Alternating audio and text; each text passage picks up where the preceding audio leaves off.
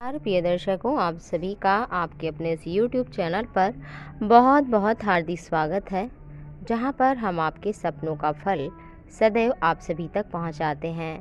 दोस्तों, स्वप्न शास्त्र के अनुसार, स्वप्न में जो कुछ भी दृश्य हमें दिखते हैं, उनसे सुबह शुभ भविष्य का हमें पता चलता है। मित्रों, अगर आपने भी सपने में देखा है, केले का पौधा तो चलिए जानते हैं इसका अर्थ। दोस्तों स्वप्न शास्त्र के मुताबिक सपने में केले का पौधा आना, यह एक उत्तम, शुभकारी स्वप्न माना गया है। दोस्तों, अगर आपने भी देखा है तो ये सपना कहीं ना कहीं इंडिकेट करता है कि आप परेशान हैं आर्थिक समस्याओं से। धन जो है, आर्थिक स्थिति वो पहले से आपकी ख़राब हो चुकी है।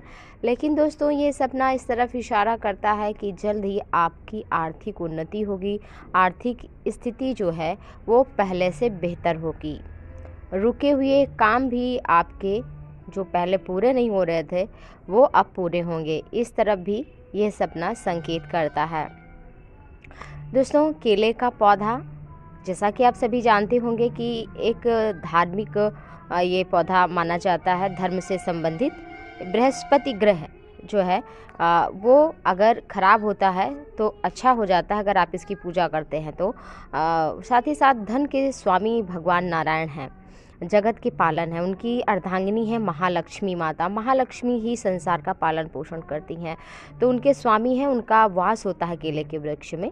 तो दोस्तों इसके लिए आपको करना ये है कि आप जो है ज़रूर केले के पौधे पे जल चढ़ाएँ बृहस्पतिवार के दिन पीला फूल चढ़ाएँ भगवान लक्ष्मी नारायण के सामने घी की बत्ती जलाएँ और साथ ही साथ आप आ, महादेव की उपासना भी करें। सोमवार के दिन आप शिव का अभिषेक करें और अक्षत चढ़ाएँ चावल बिना टूटा हुआ।